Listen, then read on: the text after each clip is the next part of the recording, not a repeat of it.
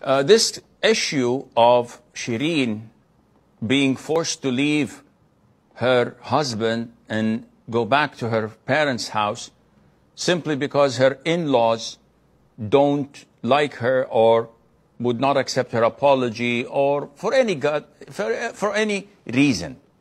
This issue is reoccurring and it's one of the saddest issues that I always face, especially in counseling sessions.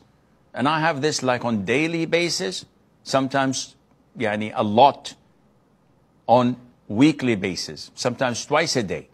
The same complaint.